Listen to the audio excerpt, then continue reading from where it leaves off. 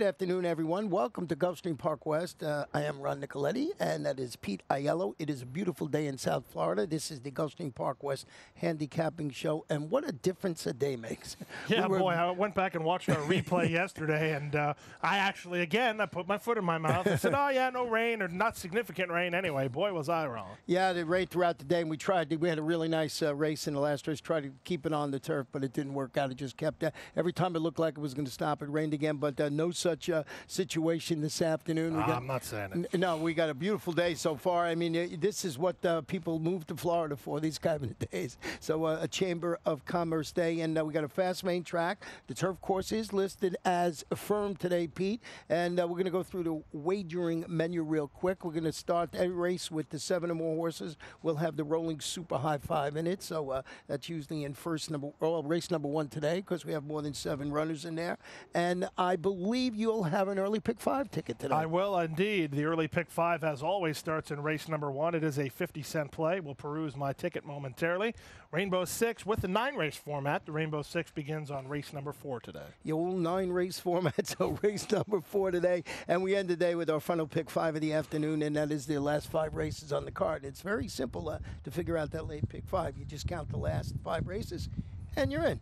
So very simple in there. The first race today is a one-mile turf starter optional claimer. Fillies and mares three and up, or they run for that optional claiming price of twenty thousand dollars. Scratch the three. Nurse John, and uh, let's look at your ticket. Yeah, let's do that. There's a lot of speed signed on in this first race. I was looking for closers. There really aren't any, at least not significant. So I'm going to go deep in here, not too deep in here. I'm going to go three deep. The four, Spring Spirit, first up since May for Mark Casse. She can make ground from the back, but is she ready? She's also making her Gulfstream West debut today, so not sure about her, but she needs to be included. The number seven, Wild About Jazz. That's the horse I think is the best in here with a good running style and some course experience.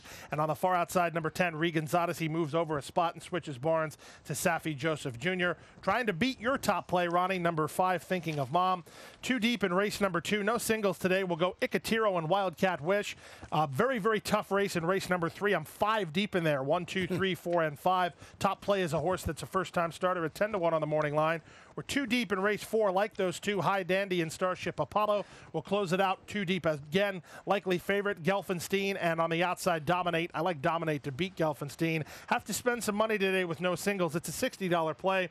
If you are looking to uh, cut that ticket down, I can cut it in half for you. Single Wildcat Wish in the second. He's consistent, but he hasn't won in a while. He hasn't won in a while, but he certainly classes up nicely in there. Well, let me tell you the story about the horse that did. You did not use the number five thinking of mom. This one shipped him from Monmouth last year and won when turning back from a mile to five furlongs. Now he's going to do the reverse this afternoon. He, he stretches out to a mile after winning at five furlongs in the Jersey Shore. So he's coming back. He showed he could win uh, first off the bench when coming down here, and now he's uh, you know going back. I just thought that was the logical choice in there, and uh, following that angle there, Eddie Plesa Jr. just keeps winning races, so he's doing real well with his limited amount of starters thus far. So number five, thinking of mom, on top of my ticket, and and uh, the horse that you used, number seven, I did not use Wild About Jazz on my ticket. Well, wild about Jazz, you have to pitch her last race. Uh, she got steadied back down the backstretch run and really just never got out of first gear in that particular race. She does have some course experience. She was finished third on this turf course last year. I think she rallies well off the speed here today. When she does her best work, she's well back. I was looking for somebody to pass horses that I could make a case for on form. She was the only one I could do that with, so she's right on top. Luca Panici. Luca Panici. That's his uh, riding style. And the number four Spring Spirit is dropping to this 20,000 level. First start since facing $62,000 types in the Woodbine turf, but it was uh, during May. And you mentioned when you were talking about your ticket, is this horse going to be ready? Mark Casse, Tyler Gaffley. It's a stakes place daughter of Spring at Last, but coming off the bench today. Looks like she just doesn't like Canada. If you look at her three races at Gulfstream Park, they were by far the three best races of her career. She ran very, very well in all of those three races. Different turf course, different layout, and the layoff to contend with, but she is taking money, and I think she's a must use. Yeah, and the number 10 horse that we both used in the ticket uh, moved to the Saffie Joseph Jr. Bond after the claim. Uh, the new connections must have rejoiced. They didn't see uh, horse that had a scratch out yesterday, defying gravity in the field. Uh, she has the speed needed to, uh, you know, overcome the pitfalls associated with that outside post this afternoon. And, you know, you see a lot of speed in here. I don't know about this one winning, but certainly can be somewhere on the ticket. It's tricky here because the number one horse in this race, Storm and Charlotte, can't can't win if she doesn't make the lead. The eight Lady Nura can't win if she doesn't make the lead. The nine Pearls for Girls can't win if she doesn't make the lead. So you do have some problems in the pace department if you're the outside horse, number 10 Regan's Odyssey. But I think she might be tractable. That's the gamble, whether you can rate her. I think you might be able to. And uh, maybe from that outside post, they'll sort of be forced to do that, Yeah. you know, and grab a stalking position. So let's go to race number two this afternoon, six and one and a half furlongs. Claim is three and up, fifty thousand down to forty thousand dollars. Scratch the number two horse in here, Sweetwater. You mentioned that if you wanted to cut the Pete's ticket in half, you might single a horse like five, Wildcat Wish, who's dropping to the fifty thousand dollar level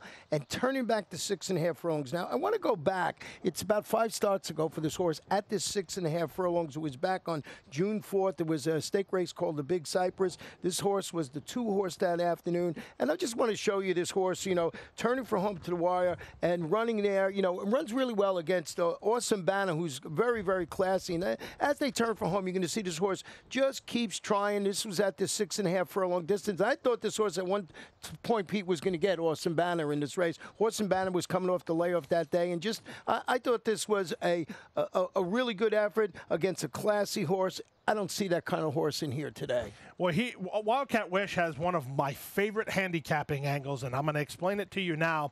If you look at his last race, he ran an 85 Beyer while finishing fifth. That's the angle. He ran well. In fact, he ran a lot better than some of his other performances where he got beat ahead by Rich Daddy and ran an 83. He finished second or third in the Trinniberg and ran an 82. So he's stakes place, but he ran a better figure last time, finishing fifth. Why do I like that angle? Well, it doesn't take a rocket scientist to figure out that those were some real racehorses. If he could run a better figure and run worse on the on the uh, placing side of things, and we know that because we're all set, and your dreams are mine, are two of the best handicap horses down here. You know, I went with the six horse in second, Pete. You have him uh, on the back of your ticket there. He's uh, debuting locally after ending his summer campaign up at Monmouth with a 50,000 optional claiming score going six furlongs. That was back on August 14th. Here is Pete's angle here. Eddie Broom, Tyler Gaffalione. Got to get a race, right? Isn't that I- true? Yep. So Yep. you backed him up. You got him on the ticket, but you couldn't put him in the second spot. Well, there is a scratch in here of Sweetwater, so we're down to five. I had to use. Uh, I don't think Imperial Yeah, Warrior has any business running on dirt going short, so that was why the he's gotten his fourth on my ticket. Well, let's go to race number three this afternoon. Uh, anything else in race two? No, sir. No, okay. Race number three. Thank you for asking. well, I didn't know. You, you look like you wanted to say something there. number three, race number three, not number three. Race number three, one mile on the turf. Maiden claim is three and up, thirty-five thousand. Scratch the uh, uh, also eligible number eleven, recalibrating. And I went with the three horse on here, and that's Zarmo. A- And I believe that Zarmo should be ready to shed the maiden tag after shipping in from Belmont Park and closing to come within three quarters of length of winning at this level and distance over on the Gulfstream Park turf. It's a gelded son of Uncle Mo. She'd get more than enough pace needed to complement his running style in here. I think there's enough pace to set it up nicely for him. You got him in second. You went with the number five horse in on top. Pontificate. Yeah, there's a reason I went with the number three Zarmo in second. It wasn't because I didn't think he had a big chance and agree with you, and it wasn't even really because I was worried about price. He's seven to two on the morning line. That's not a concern. I was worried about the race he came out of. The winner Red Cat. I don't really think too much of. So that was the reason why I didn't use Zarmo on top. I went with the first-time starter. Carries the colors of Eclipse Thoroughbred Partners,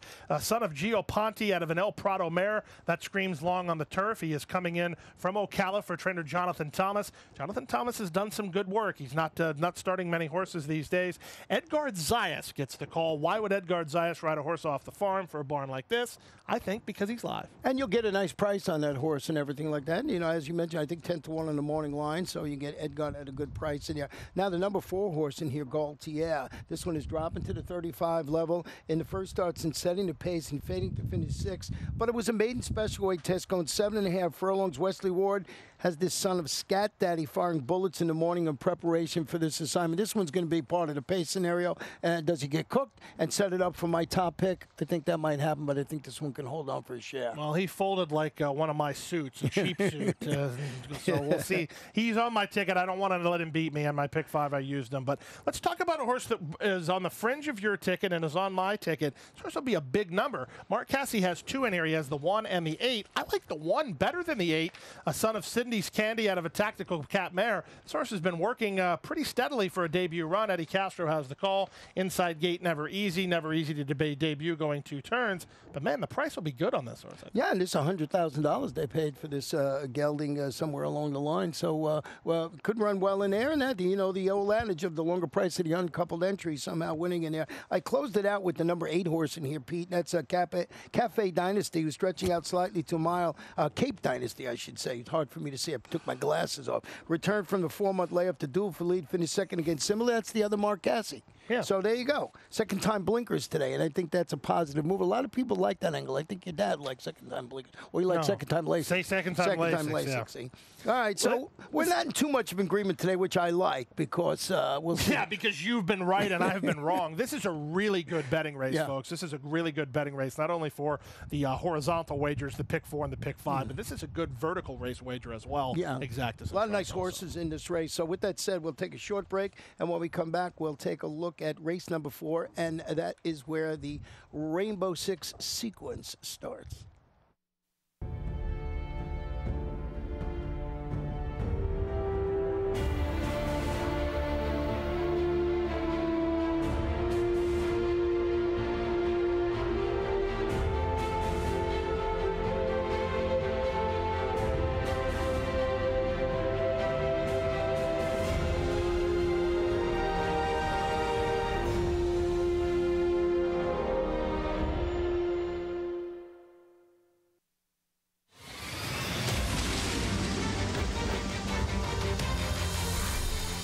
January, 12 horses, a million dollar buy in for a $12 million purse.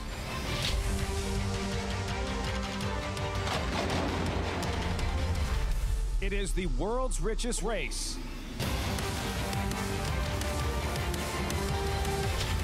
It is the Pegasus World Cup. Welcome back. Uh, uh, really spectacular day here at Gulfstream Park West. A beautiful uh, weather. We have a fast main track, a firm turf course. If you're looking for all the amenities, you head over to Gulfstream Park where you can bet simulcasting and all that good stuff. Going to have a lot of fun there on uh, Breeders' Cup weekend a couple of weeks from now. So uh, uh, just keep that in mind. But the racing here, a lot of fun as far as the races go. You mentioned that turf race last race. That's a really good betting race. And now we got the Rainbow Six starting with over $4,000 in that pool. Let's quickly go to my ticket, and I'll show you how it looks in here. And uh, uh, Starship Apollo on top of mine, so we'll see how it is. Uh, there it is, three, four, six, two deep, four, four, and then you'll see in race number eight how to find a single today. So uh, I went with the uh, one horse in here, Adagio, and uh, if I could go deeper, I would. I wanted to keep it affordable because uh, uh, thirty-eight dollars and forty cents. I figured in the last race, two deep there, Pete. You can go twelve deep in there, and uh, you know, and it still would be hard. I mean, there's only eleven horses in the race, but Well, the strongest opinion I have in the sequence is in race number seven. We'll get there. So I'm delighted. I'm ecstatic that you did not single or even go one or two deep in there. You're four deep in that race. Good move. Yeah. We're gonna. You and I both are gonna beat a heavy favorite in race seven. Yeah, I think so too. I, I saw the big heavy favorite and I said, no way am I singling that horse there. Now, this uh, fourth race, six and a half furlong claim is three and up, non winners of two in life, 12 5. Scratch the five in this race, uh, Cyber Josh. I went with Starship Apollo, who's stretching out to six and a half furlongs. A couple of solid efforts going three quarters of a mile. Uh, he was second last out, then he was a trouble third. He had to alter course a little bit. That was two starts back. Steve Dwoskin, Luca Panici in the saddle. I just thought this was a logical contender. You got him on your ticket. We got our exact flip flop. I think he a horse you got to use. Always gets. I'm glad I'm not calling this race. Starship Apollo and Starship Apache give me fits. if you asked me to tell you about one of their form, I would probably flip flop it. But Starship Apollo has, uh, as you said, it has experience over this course. The horse that be beat or lost to last time out, Horse Spotter Carl, is another Steve Dwoskin horse, by the way. So it was a good run. The question in this race for me is, what do you do with Bocati? He's the morning line favorite. He has some form, but to me, he just doesn't want to win. Yeah, I mean, I put him on the ticket in the, in the third spot uh, myself. I, I didn't leave him off. But the horse that you put on top, I have in the second spot, is the four, and that's High Dandy, who's dropping to this 12 5 level today. Yeah, he's dropping to the 12-5 level after coming out of a pretty good race won by Dunkirk's boy, who was a sharp victory, uh, victor that day. The cutback is not as significant here at Gulfstream Park West as it would be across town because this is a one-turn race, and he's coming out of a one-turn race. For me, a lot of times when I think of cutbacks, I'm thinking of two turns to one turn. That's really the extreme. This is just less ground to cover. Uh, the question for High Dandy will be how close can he stay and what will he have to run at. I like him though. This is a tough race though. Well, you mentioned the three Bucati now in the Fernando Abreu bond. Uh, the gelding makes his first start. He finished in a dead heat for third with Starship Apollo going six furlongs. Was back on September 18th. Emisael Jaramillo is going to be in the saddle this afternoon. Maybe that's enough. I mean, if you like Starship Apollo, I think you got to have Bucati on the ticket. But I am total agreement with you. I don't know about the top of the ticket, just somewhere on there for my exacta or trifecta. He doesn't like to win, but he runs well against this level of competition. Yeah, I don't like him. That's uh, that's just me. Uh, the number one horse, Eclipsado, I wanted to use him on a more prominent role on my ticket, but the problem was I think he's the inside speed here, which is why I wanted to use him. He's making his second start off a freshman, and uh, he's making his second start over this racetrack. All angles I really like. The problem is, is he lost to Starship Apollo last time, and I couldn't figure out a reason why Starship Apollo wouldn't beat him again. Yeah, and I mean I've used him on the ticket uh, on the bottom half of the uh, Superfecta ticket in there. Now race uh, number five this afternoon. Uh, we're back on the turf. It is seven and one half furlongs. These are claimers three and up. Eight thousand dollars. Another uh, nice race here. Eight stars Yeah. in here, and you know you got to go. Uh, uh, you know I went with the number one Gelfenstein, who's a consistent son of Mr. Sekiguchi, hoping to find uh, just a tad more for the stretch run. He went up. He set the pace throughout. Just got beat in neck in his local return right here at this level and distance. And, and, you know, would you single a horse like this? No. He always runs his race. He doesn't win all the time, but I think you got to have him on there like you did, either in the first or second spot. Well, he is, yeah, and then that's the thing. He's going to be heavily favored here. That's Yeah. that's the rub. Uh, I, I do think that he's the inside speed. I think he's the best horse. I think he's the fastest horse. So he has a lot of things going for him. However, just strictly on a value standpoint, do I want odds on on a horse like this? And here's the other thing about it, Ronnie. And I should have mentioned this when we were talking about another race. And you're going to know what I'm going to say. So I'm not even going to say it. I'm just going to make the motion.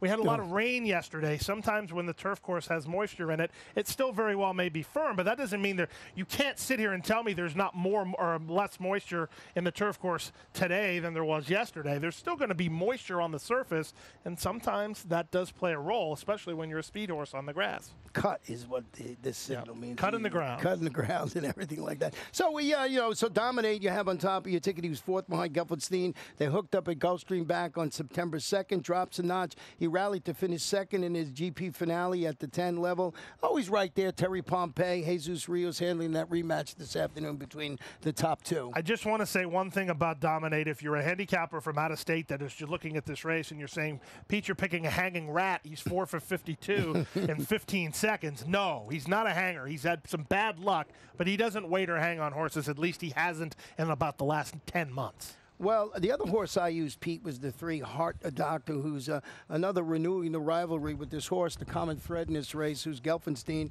after rallying to finish third behind him last time out. So, uh, uh, trainer owner Steve Budo has uh, Luca Panici. It's a two time winner on this course. He's run well here, four starts, two wins, and a, and a third. So, three for four in the money on the Gulfstream Park West turf course. I thought a horse that uh, you got to throw on there. You know, he, exact the trifecta, superfecta. He's got that horse for course angle going for him. I guess so. I just, t- to me, a heart doctor always seems like the, he's best going uh, one turn, rallying from uh, off the speed at five eighths. I don't know. Uh, I, I, it's one of those horses I didn't pick, but I don't have any good reason why I didn't.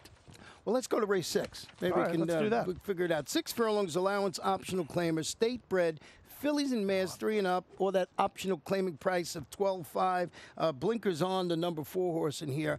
Uh, I, I did not use the, the the morning line favorite in here top. I put him in the fourth spot. I went with the seven, and so did you. Miss away. I want to go back and show you this horse's performance. I thought it was so good that I wanted to go back and show you it. Did. She certainly lived up to her name when she just drew off rather impressively. We're going to show you this in a couple of seconds when it goes on. Just seeing, I just thought it was a good performance. And horses that come out of this race Pete, have run well in their subsequent starts. So off this angle, I just thought this was the one to beat. Glad we queued up the replay. They're always important when we're on this show to queue up the replay. Just want to drive that point home. Miss Away uh, is our both of our top play rallied down the center of the course, as you mentioned. That move is going to have to work today because there's a lot of speed in here. First distinction, elusive harmony, Mama Splash, just to name a few. They're all going to be forwardly placed. Yeah, and I, I, like I just like I said, I was really enamored with that last race. And the horse I use, I believe, is ten to one, and uh, twelve to one on the morning line. Is is the number six, uh, Tormenta de Oro, who's stepping up the competition. But this one rallied from off the pace to defeat 10 optional claimers at the distance. She's an obvious, obvious choice, I think, unless you think she might uh, do the old bounceroo after that hard-fought score last time out. You see, she's on the fringe of my ticket because she is going to be a nice number. That was my question. Not necessarily why, but how did Tormenta de Oro rally from off the pace to get the victory on the step up in class? Nothing about that makes sense. Makes me wonder if it's not an anomaly, but at the same time, at a big price, I'm willing to maybe take a shot and find out. Well, tell us about Don't Tell Vanessa. Oh, yeah, I know why he wants me to tell you about Don't Tell Vanessa because she's the one that cost me our pancake battle over the summer when she finished fourth two starts ago behind my dear Venezuela. Listen, I'm just a fan of this horse. She's by the Green Monkey. She's 10 for 24 in the top three. She's honest. She rallies from off the speed. She is making a barn switch here today. I don't like that, which is why she's not on top, but I do like the fact that she's honest and she'll close in a race that has a lot of speed. And the number eight, what about the, uh, you know, the always angle you have to look look at Ralph Nicks, Tyler Gaffalione, Lucent Ladies debuting locally after following her 35 front running maiden victory. Comes back, stalks fade six uh, behind Miss Away last time out. I think that one uh, maybe can rebound and run better than it did last time. I respect the connection. So I threw this one on the ticket. I just thought uh, I'm going to put a line through that one. Uh, I guess so. No thanks is all, is all I can say. She's eligible for non two. She's the only one time winner in here. I'll pass. Uh, just for a minor award in there. Now, race number seven this afternoon. This is the race of the day. This is the race of the day. Uh, this one, seven and one half furlongs on the turf. These are maiden claim is three and up, 12 5. Scratch the number 11. 12 and number 13. And uh, we will turn it over to you. The horse that I have on top, number six, Daddy Duke, is the horse that uh, you want to show a replay about, and I think it's not good.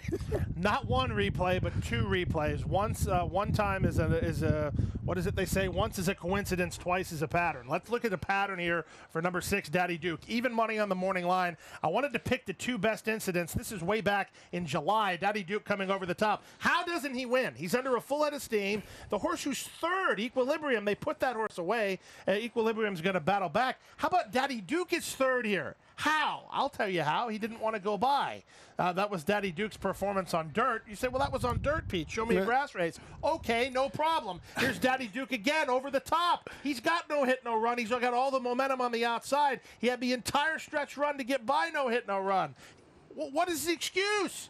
I mean, literally, what is the excuse? He's supposed to have won that race. That's not one, but two times. And I could sit here and show you every race he's ever won. He doesn't want to go by. And not only that, he doesn't want to go long. So you have a horse that's going to be an underlay that doesn't want to pass horses, that's not at his best work going long. That is beat, beat, and more beat. Thank you very much. I love horse racing. Vote for me. Boy, boy, oh boy. I knew this was going to happen. I just didn't realize it was going to be that exciting. So, the Daddy Duke I guess, uh, as you put in your uh, notes there today, has a little bit of chandelier in him. I think so. We'll see how that works out. You now, know, I just jinxed him into the winner circle. Uh, yeah, no, well, yeah, I, I, I, mm, I, could taste the pancakes here. Number one. No, you're four deep in the pit five. you don't want a pancake. Number one, dividend, who you did put on top of your ticket, listed as a gelding. This is a son of Mr. Sidney. Makes his first start. He dueled for the lead. He faded to finish sixth. It was a nine furlong, 25 maiden race at Gulfstream. He was back in March. The concern I had with this lack of really a strong workout pattern showing, you know. So, I, I mean, it's a little guesswork there. I wish I would have seen more in the mornings, you know, uh, uh, before I put this horse. I mean, classes up nicely in here, but that was my concern. Jonathan Gonzalez, excellent rider, will be in the saddle today. I mean, a logical contender. I absolutely 100% agree with what you just said. But given the fact that I will not, cannot, and should not pick Daddy Duke on top, this was the most logical winner behind him. Uh, I agree. I wish there was more works. I wish there were local works. I wish they weren't at the farm. Uh, but this horse's last race, he checked down the stretch, and this is one of those situations. He was not winning, but he was not going to be beaten six lengths while sixth either as he checked at the eighth ball. So something went amiss. He's on the tumble off the shelf, but Reed Nagel's done some very good work this year. He's batting 23%. Not sure about this, but it has to be darn close to a career year for Reed. And what about the number two roll on tide, dropping to the 12-5 level, stalked the pace, faded to finish ninth in, uh, in his Gulfstream Turf finale at the $20,000 level. More importantly, Kathleen O'Connell has just been tearing it up over here. Juan Labor in the saddle, got the drop, roll on tide. I don't know what it is on the morning line, five to third choice, five to one or something like that. Uh, I think this horse, uh, just respect the connections, could be there, but wide open affair, especially if you're in agreement with Pete that you don't think Daddy Duke is going to be a big, as you said, underlay here and, and you run well. Uh, maybe if you go deep in this race like we did. Well, here's the thing. You look at my ticket, you go, Pete, you're sitting here bashing Daddy Duke, but he's on your ticket. Yeah, he's on my ticket. He always gets a check. He's a he's actually really an owner's dream because he's always going to get you a check. He's more than paying for himself. I'm just I'm a, a multi-leg guy. I don't like uh, third and fourth. Go ahead. I'm, but I'm looking for winners, and another potential winner is number seven, Big Player at a big price. He was third last time, uh, two starts ago at 52 to one. Threw a line through his last race when it was on the main track. And speaking of a horse that I want to throw a line through his last race because it was on the main track. Number 10, Stay in Cruise. These are connections that year in and year out win races at this level on turf. Juan Rizzo, uh, Jacinto Herrera has the call. This horse will be a massive price. I'm talking over 50 to 1, and I think he'll outrun his odds. Oh, there you go. So uh, very excited about the race number seven I today am. for uh, Pete Aiello. I thought he was going to fall off the chair there. He was uh, so. Uh, I'm a colorful individual, if Yeah. that's what you're Let's trying to to say. Yeah, that's what I was trying to find the right way. to say- Animated, colorful, Yeah. Six passionate. furlongs, eighth race, maiden claim is two-year-old, 50 down to 40. Scratch the six, level, scratch the 11. Kit Kat Matt. Here's where I singled. If you remember my Rainbow Six ticket with Adagio, going to break from the rail after responding to that drop in competition. Wellman second place finish at this level and distance. Antonio Sano, Edgard Zayas, inside draw this afternoon. You look at the horses in this race. I just thought this was one to beat. Six to five on the morning line. I had to find a single somewhere. Like I said, if I could have gone deeper, I would have. But that's the way I went with Adagio on top of my ticket and, and changed my mind, Pete. No, I can't really because he hmm. is the best horse on paper. He is making his second start over this racetrack. Last time out, he was a two to five favorite. He had every opportunity to get by, and he didn't. That's fine. I mean, who knows what how good Red Cotton is? The thing that I thought about is that when you do look at Adagio, you know he's going to be a short price. But to your point, if you're playing the pick six, you have to find a single somewhere, and there's a lot of unknowns with the first time starters.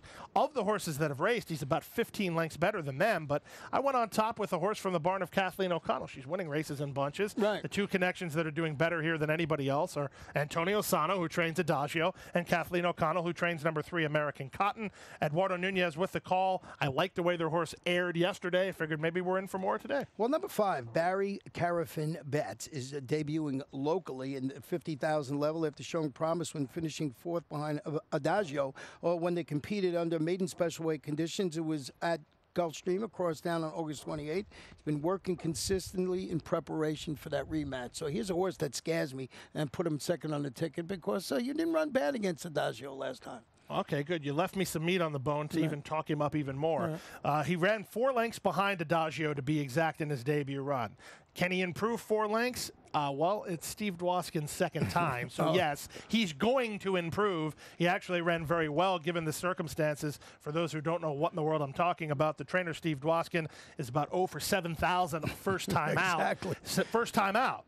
And then those horses get very, very, very good later on. All the Starship horses are Dwoskin trainees. So Steve races his horses into shape. So if you do see a horse like Barry Carafin Betts, who ran well in the debut, expect an even better run today, and he'll get overlooked. Talking about first time starters, number two, Thunder Buddies, a gelded son of Adios Charlie, debuting for trainer Eddie Plesa. I'm going to go back and show you a stat on Eddie Plesa over the last five years with two year old first time starters under maiden claiming conditions on the dirt. He's 11 for 40. That's 28%, 55% in the money, $2.06 return of investment. So he's got the positive ROI.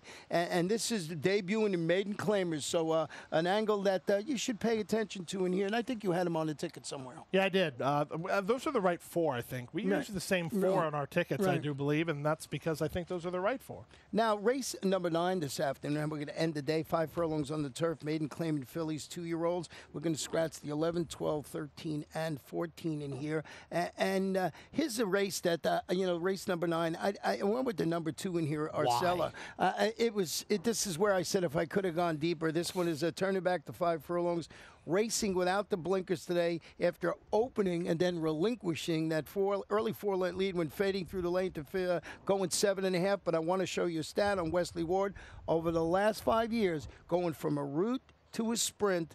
Maiden claimers on the turf. He's three for 11, very limited sampling because, uh, you know, uh, he doesn't do it as much. Uh, three for 11, 27%. 55% in the money with a $2.32 ROI. And I found this race really tough to figure out. So uh, I, I love the 11. The 11 didn't get in, so I moved up to the 2, Arcella, and that's why he's on the top of my ticket. I guess so. I, I, I can't make a case for this horse at three to one on the morning line. Literally, I just I can't. It's not like she's turning back and she ran well going short. She ran terrible going short. So I, I just I don't get it. Um, uh, not attacking you. I just don't get it. I, I, went with the number one horse in here. I think it's Negev. We'll, we'll, leave Chris to figure that out, and I'll work on it later. Carlos Hernandez riding. The trainer John Dowd has been doing sneaky well with his horses so far this season. Uh, this horse seems a viable alternative to some of the horses who have raced. Uh, we have first-time starters on our tickets, though, including the seven and eight we both used. Yeah, Regarian Princess is the daughter of any given Saturday debuting for Bruno Tessori with a solid work tab showing up at Palm Meadows or gets Lasix, Emisael Jaramillo in the saddle this afternoon. Tom's Lady, you mentioned yesterday, you like these patio Prados on the turf. Yeah, I do. I also like Sandino Hernandez. I like to see Josie Gomez up first time out.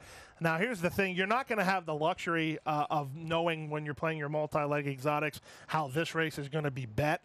But if you are tuning into the full telecast today and you're playing the ninth race straight up, I have one piece of advice for you: if the eight takes money, go with it because this is the type of connections that they tip their hand in the betting windows. If this horse is live, you'll see it on the total. Yeah, always good. A good angle. A good uh, angle. Always watch those first time starters. You know, but, it doesn't help you like you said with the Rainbow Six, but certainly uh, when you're betting the race. Well, uh, that is the nine race card on a beautiful Friday afternoon. Uh, I think we did it almost in time. I think we're a minute over. That's pretty good for us. Sounds good to me. No yeah, problem. Yeah, so it's yeah. not like you have to worry about the, that track announcer at Gulfstream who stands behind you trying to hurry you up. Yeah, right. But uh, Chris is doing an excellent job, by the way. Oh, he's doing a great job. Glad to have him with us. Yeah. Good luck, everybody. What do I love about